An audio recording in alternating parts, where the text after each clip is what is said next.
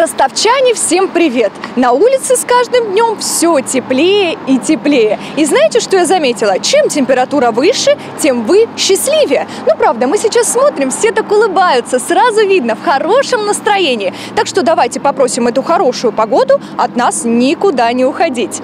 На термометре плюс 13 прямо сейчас, и ощущается это тоже как плюс 13. Ветра практически нет, всего лишь 2 метра в секунду. А что касается дождей, так здесь, честно, ничего не понятно. Когда по прогнозу дождь, его нет. А когда не спрогнозировали, он тут как тут. В общем, одно становится точно понятно. Дождливая неделя, которую нам обещали, не такая и дождливая. Больше солнца, меньше дождя.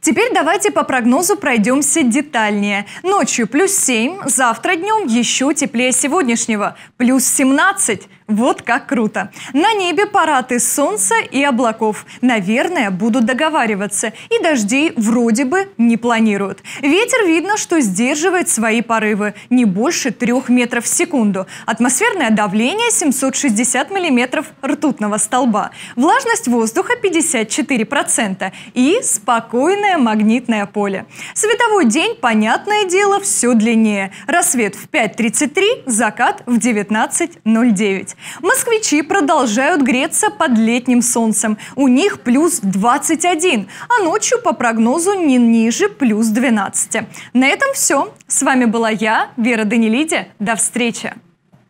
thank you